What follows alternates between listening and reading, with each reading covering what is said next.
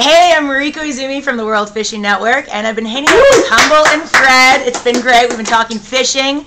It's Sponsor Appreciation Day, so there's yeah, extra people Look, in the studio sponsor right now. there. Look at that. Some other people. And I want to tell you, you have to go to WFNFishingTown.com to vote for your ultimate fishing town. You have until the end of May to vote, so make sure you do it. And one of your nicest fans was here today.